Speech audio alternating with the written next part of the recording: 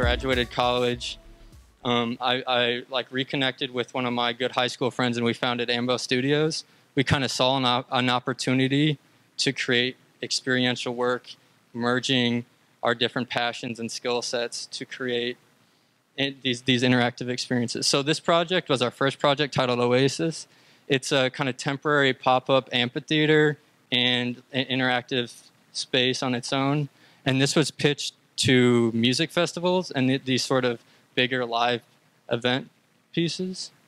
And so the form itself is basically just a circle. And then if you're to take that in plan view, cut that in half, and those, those, those arcs are then rotated around, that's pretty much the form. And then we kind of carved out an oculus in the center to kind of draw people in.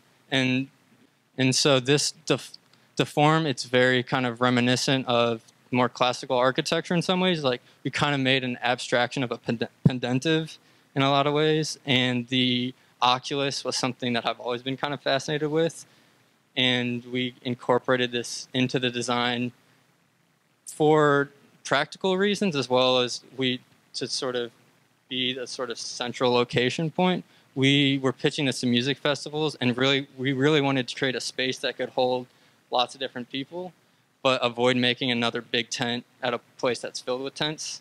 And so to sort of carve the center out allowed us to make a very light portable structure and sort of the, the, the, way that there's a gap in between the two back projection wings we did that so we could do like we avoided more complicated projection mapping and we would we were able to sort of set this thing up within like an hour and a half and another kind of classical reference is the architect Bernini when he was coming up with his ideas for the form of the Vatican colonnades. He used this analogy of this of a sort of human holding and uh, inviting people into the space.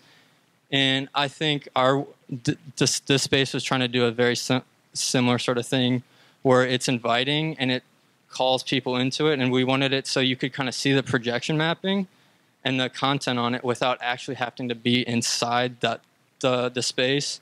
Yet this sort of Oculus became this kind of magnet that you would go into.